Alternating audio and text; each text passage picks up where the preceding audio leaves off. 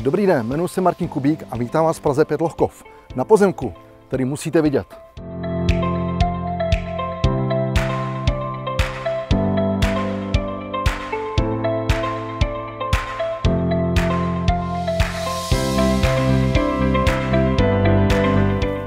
První výhodou pozemku je, že jízde je přístřešek pro parkování na dva vozy.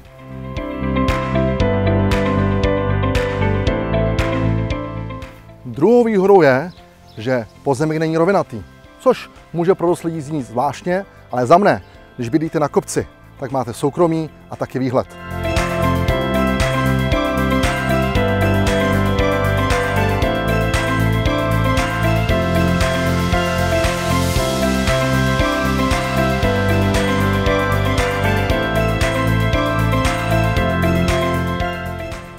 Nad pozemkem už se další dům určitě stavět nebude.